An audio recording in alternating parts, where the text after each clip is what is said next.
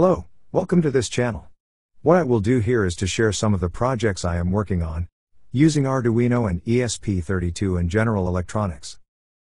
I am not a good programmer or a good engineer, but sometimes I build things that work. Maybe you can learn something, or maybe you just get some ideas. I will include the code for the projects, once I figure out the best way to do it, and also let you know where I get the materials. I hope you find something useful.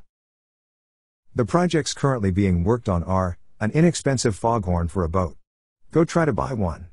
Does a simple foghorn seem to be worth $400? That is what I found. Crazy. A way to use GPS to replace the problem prone paddle, wheel, sensor. Not just to get speed through the water but also to make my true wind speed work on my Raymarine wind instrument. I am also working on a tank level gauge. A way to measure the water, fuel or even the black water in a tank.